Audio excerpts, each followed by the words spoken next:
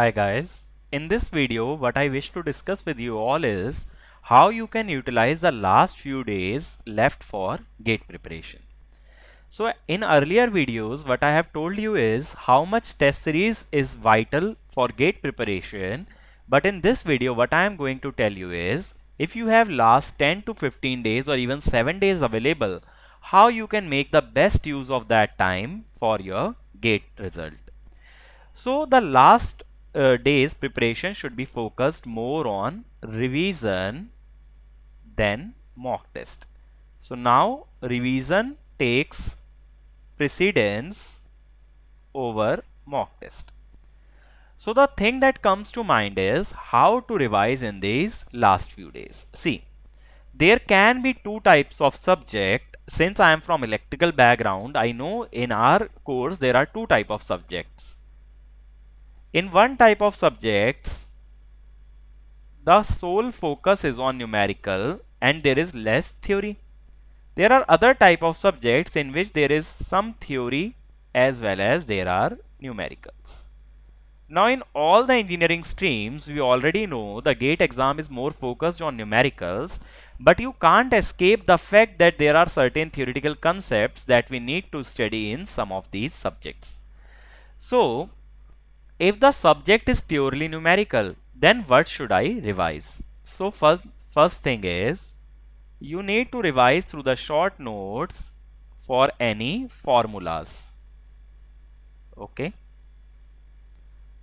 Then you need to practice certain problems. This is optional.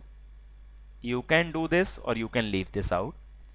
And then you can attempt one or two subject test okay? One or two.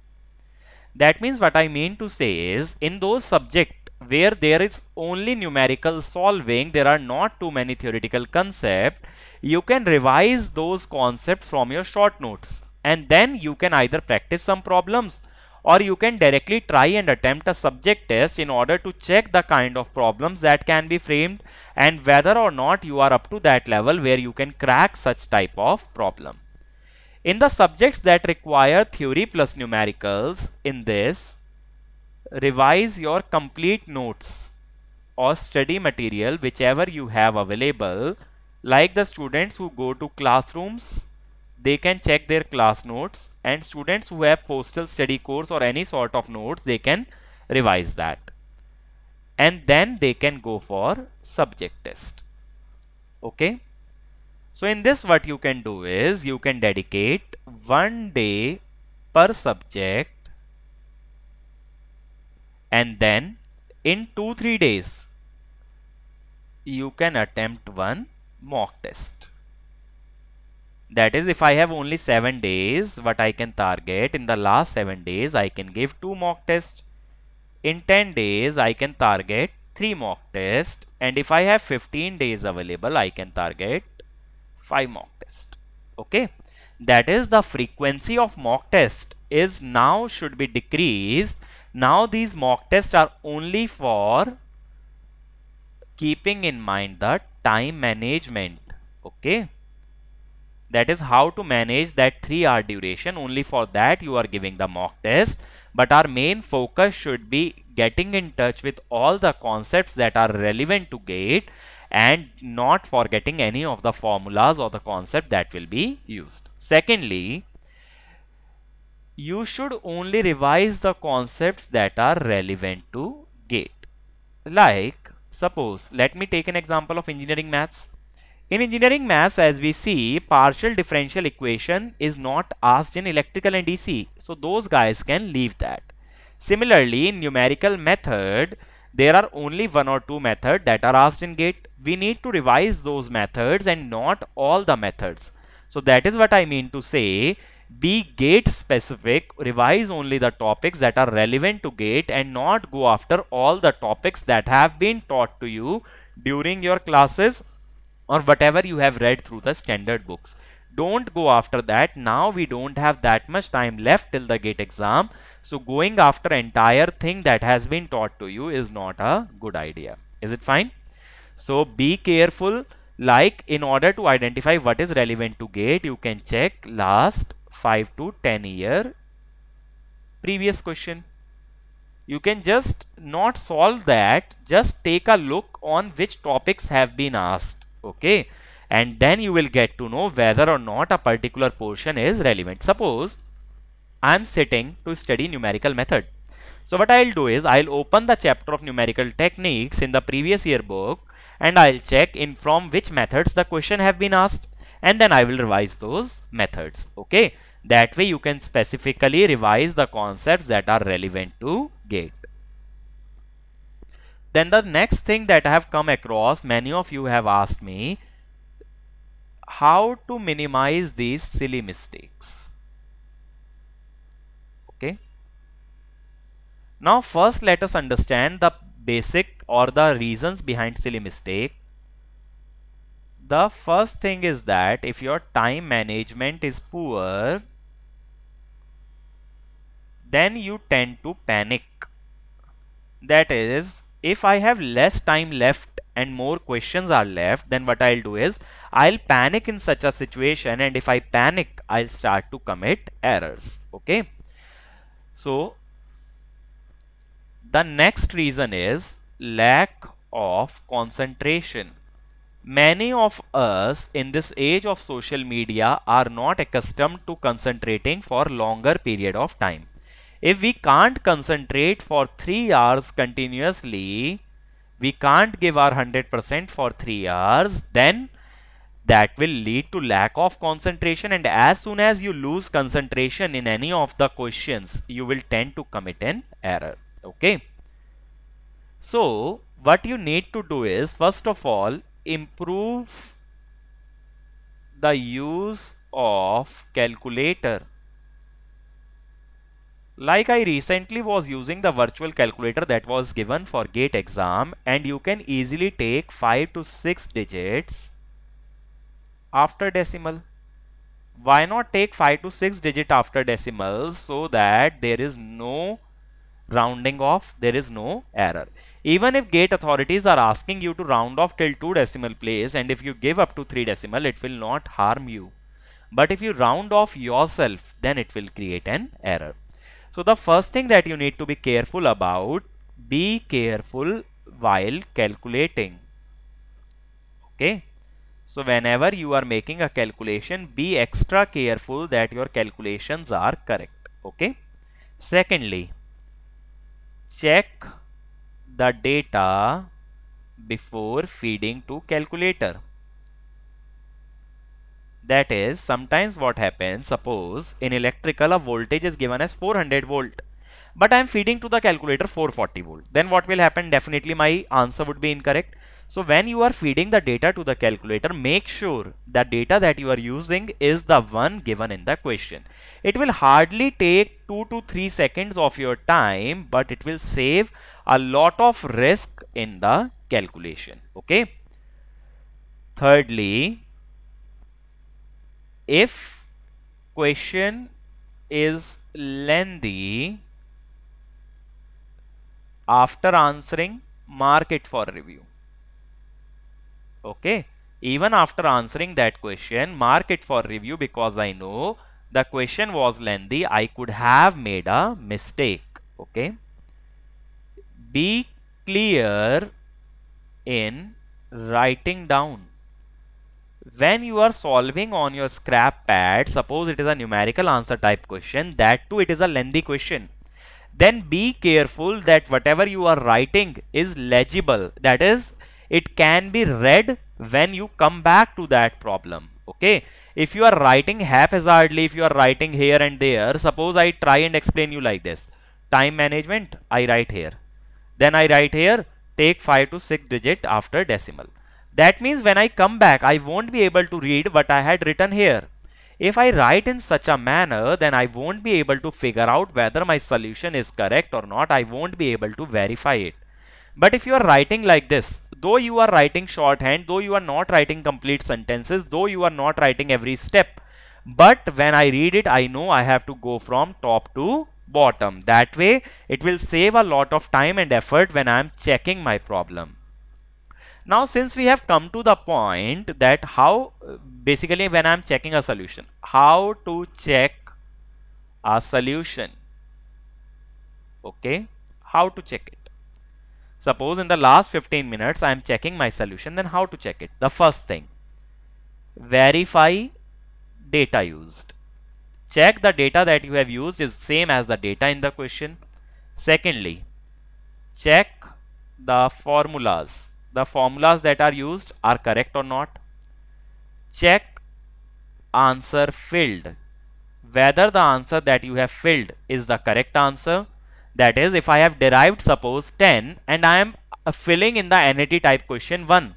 That means though I did the question correctly, but I will not get marks for that because I have filled a wrong value. Fourth, check units. Okay. So check whether the answer was asked in kilometer or meter, whether or not I have filled it correctly. And lastly, if there is lengthy calculation, then only check calculation. But if it is a trivial calculation, don't check the calculation again. So checking your calculation is optional. What I expect from all of you guys is when you are solving a lengthy problem or a lengthy calculation that you are being extra careful in that time so that you don't commit a calculation mistake. Don't ever commit a calculation mistake whenever you are doing calculation. Make sure you are being extra careful. Sometimes what happen, we become lenient, we become reluctant, we are not paying our attention and then we'll write 2 plus 2 equal to 5. And if you are doing such a thing, then nobody can save you in that problem because we can't check the entire solution again. What I am telling you is how to avoid silly mistakes. So make sure those silly mistakes are not the calculation errors. These are the four silly mistakes that you can commit and you can verify them easily during verification step. But if you are redoing every calculation, then there is not enough time in gate exam. Okay.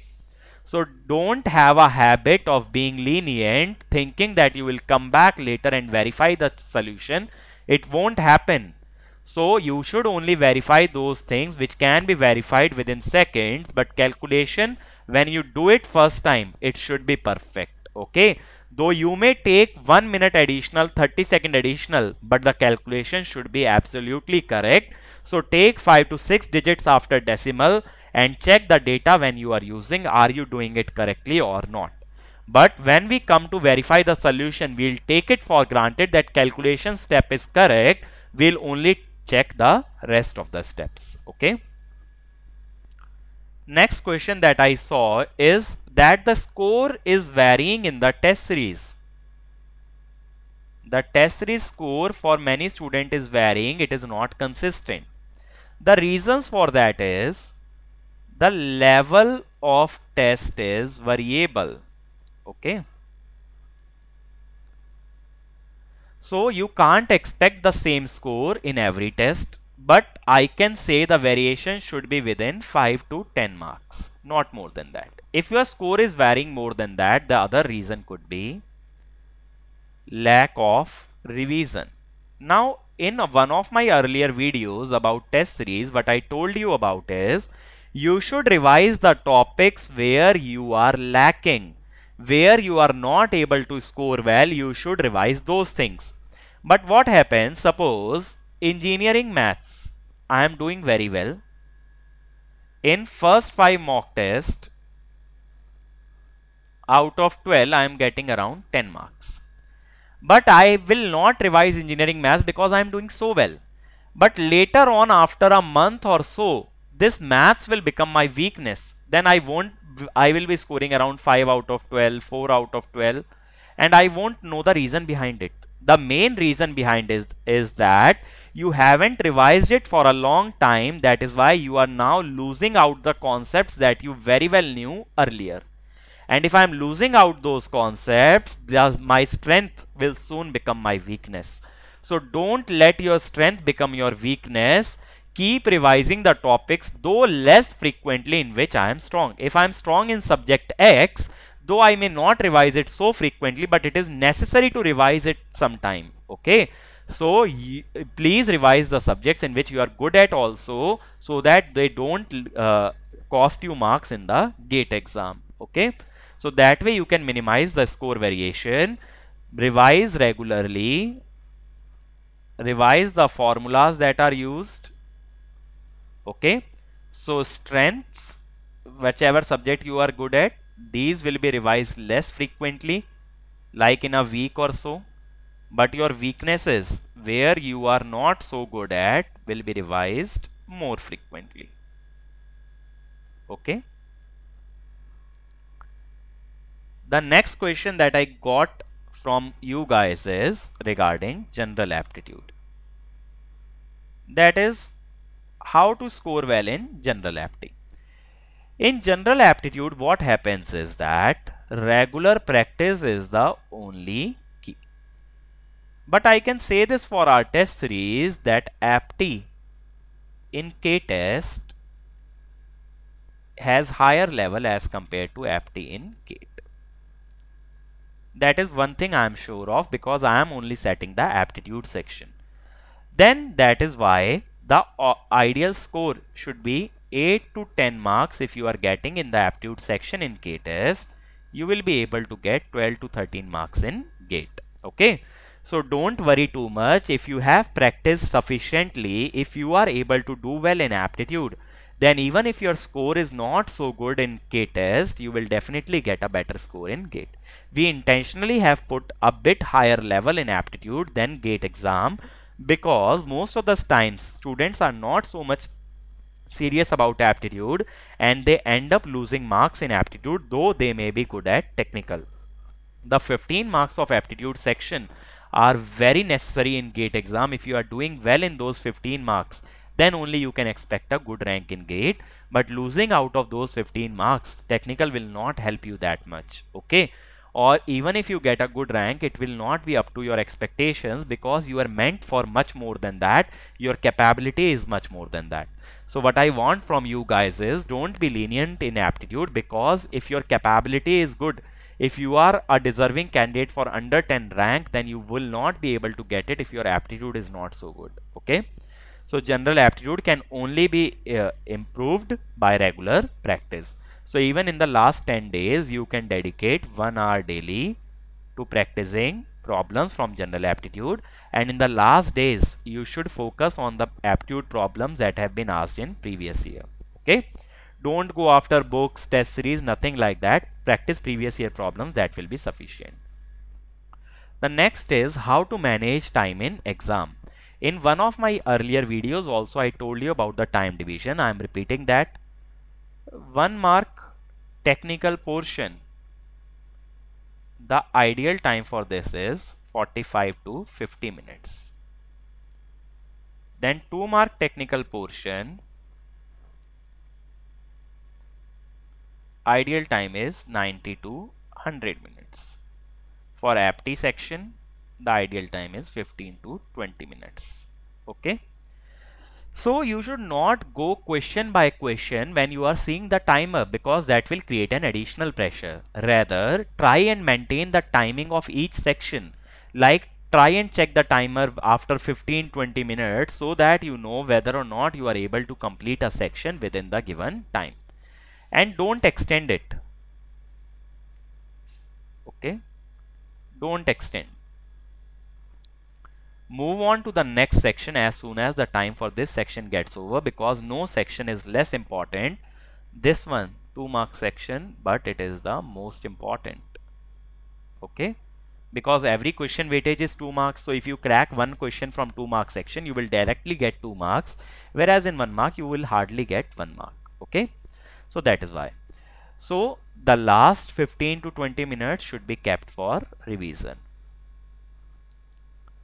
So what I expect in mock test from my students and it is it can be applied by any student is that complete paper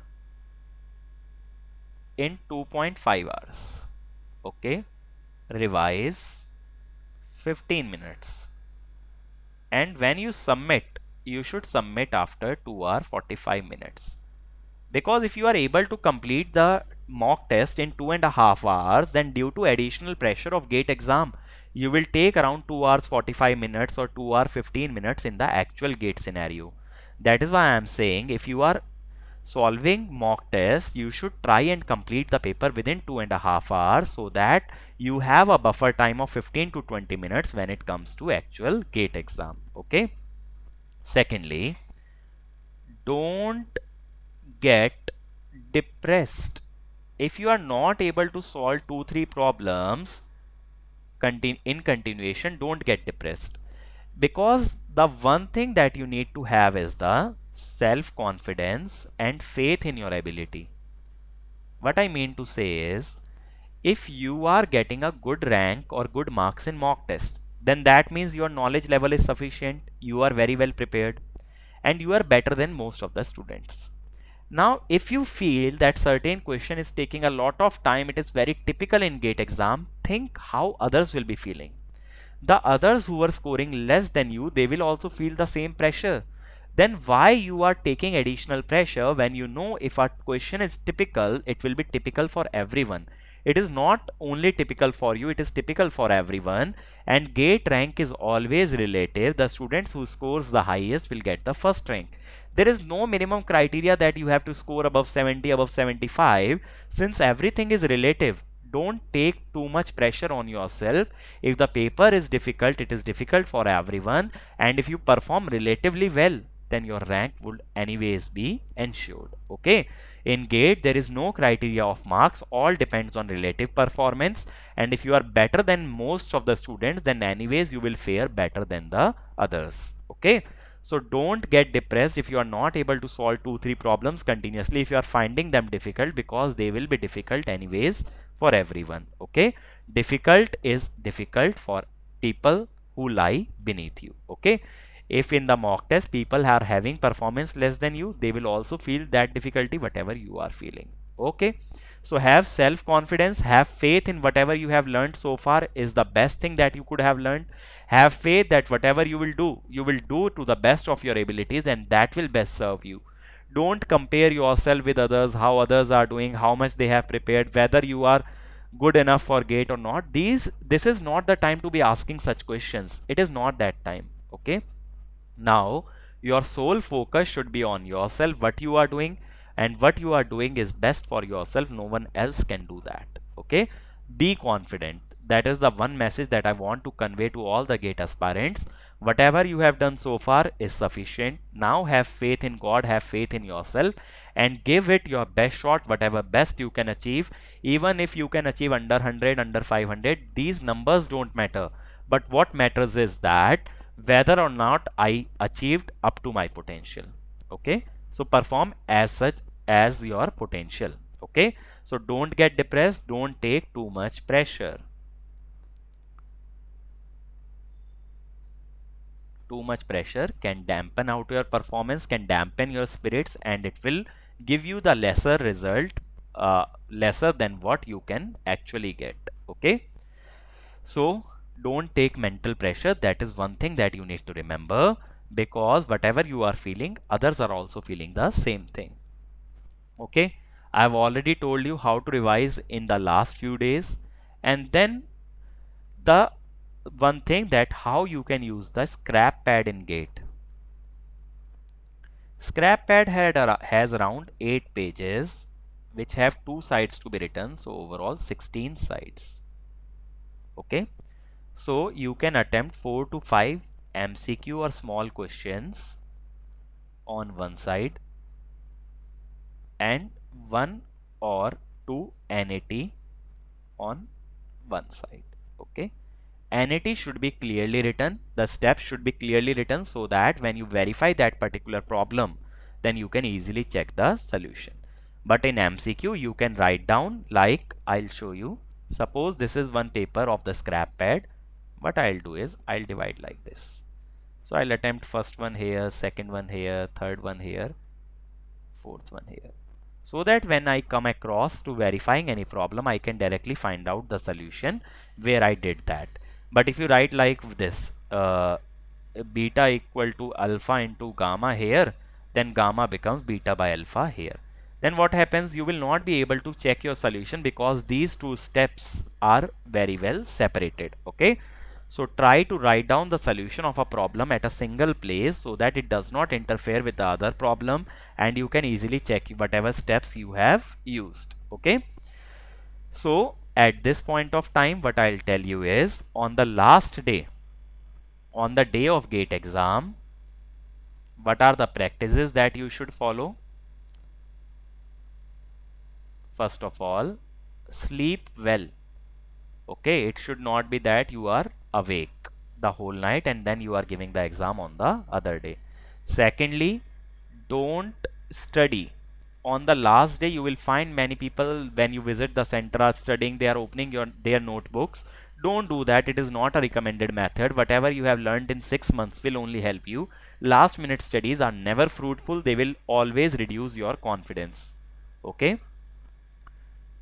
And the third thing is be calm how can I achieve calmness? Because it is easier said than done.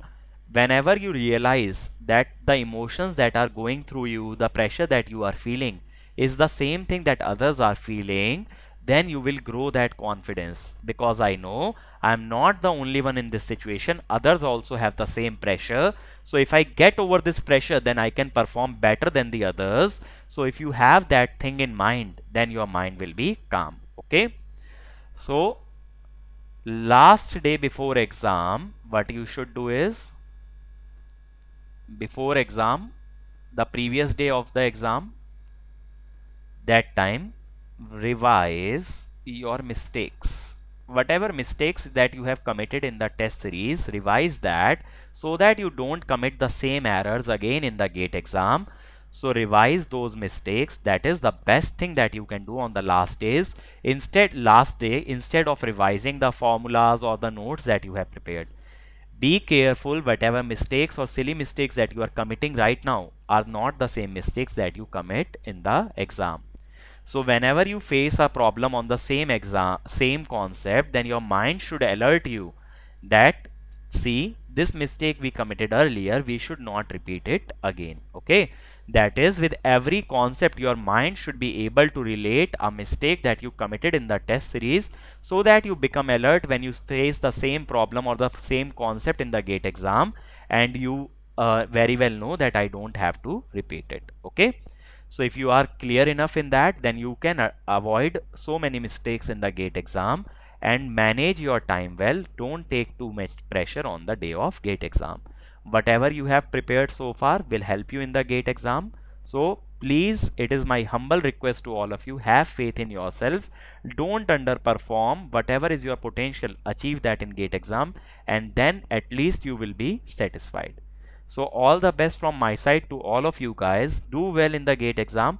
Achieve whatever you can and then take rest. Okay. So all the best. I hope you every one of you achieves whatever is the best for them. Thank you.